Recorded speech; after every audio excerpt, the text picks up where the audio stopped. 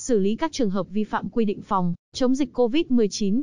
Ngày 24 tháng 8, tại phường Hồng Phong, thị xã Đông Triều tỉnh Quảng Ninh, Tòa án Nhân dân thị xã Đông Triều đã mở phiên tòa lưu động xét xử sơ thẩm vụ án chống người thi hành công vụ xảy ra trên địa bàn.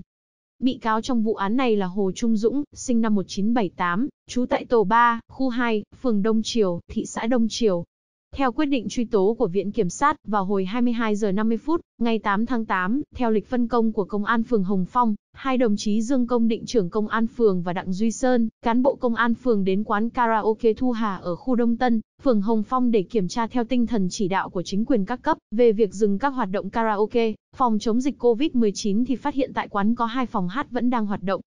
Khi đồng chí Định và Sơn vào trong phòng khách của quán để làm việc với chủ quán, bà Hà thì anh Nguyễn Văn Kiên, quản lý quán, sinh năm 1987, trú tại phường Đức Chính, thị xã Đông Triều là con bà Hà, đã ngắt điện cả hai phòng hát. Lúc này, Hồ Trung Dũng là khách của quán đi ra và nhìn thấy anh Thao, anh Thuấn cũng là khách hát ở phòng bên cạnh. Do đã uống rượu nên Dũng cho rằng các anh này nhìn đều, và to tiếng với hai người này dẫn tới xô sát.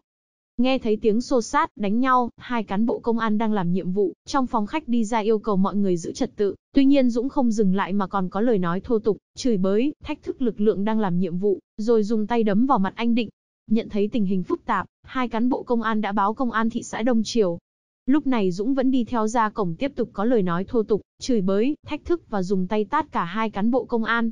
Ngay sau đó, công an thị xã Đông Triều đã đến hiện trường khống chế và lập biên bản phạm tội đối với hành vi chống người thi hành công vụ của Hồ Trung Dũng. Tại phiên tòa, Hồ Trung Dũng đã thừa nhận hành vi phạm tội của mình. Căn cứ vào hành vi, tính chất, mức độ phạm tội, hội đồng xét xử đã tuyên phạt Hồ Trung Dũng mức án 9 tháng tù giam về tội chống người thi hành công vụ, theo quy định tại khoản 1, điều 330 Bộ luật hình sự 2015. Đây là bản án nghiêm khắc, có tính răn đe đối với các đối tượng coi thường pháp luật, đặc biệt là trong bối cảnh cả nước đang thực hiện các biện pháp phòng, chống dịch COVID-19. Ngày 24 tháng 8, theo thông tin từ văn phòng huyện ủy Đầm Hà Quảng Ninh, người đàn ông trốn khỏi chốt kiểm soát phòng, chống dịch COVID-19 đóng, ở trạm kiểm soát liên ngành 15 km của thành phố Móng Cái đã đến công an huyện Đầm Hà, để khai báo y tế. Theo khai báo, người này hiện sống tại phường Cửa Ông, thành phố Cẩm Phả. Tuy nhiên trên chứng minh nhân dân vẫn ghi thông tin trú tại thành phố Hải Dương, tỉnh Hải Dương. Cách đây hơn 20 ngày, người này về quê ở Hải Dương rồi quay lại Quảng Ninh. Đến ngày 23 tháng 8, người này khi đi qua chốt kiểm soát chống dịch tại 15 km để vào thành phố Móng Cái, cho rằng việc có chứng minh nhân dân ở thành phố Hải Dương thì sẽ phải vào khu cách ly theo quy định, nên người đàn ông đã để chứng minh nhân dân lại và bỏ đi, quay ngược hướng thành phố Hạ Long. Đến công an huyện Đầm Hà, người này đã vào khai báo và kiểm tra y tế theo quy định. Theo kết quả kiểm tra tại Đầm Hà, người này sức khỏe bình thường, sau khi làm thủ tục y tế đã được cho về gia đình.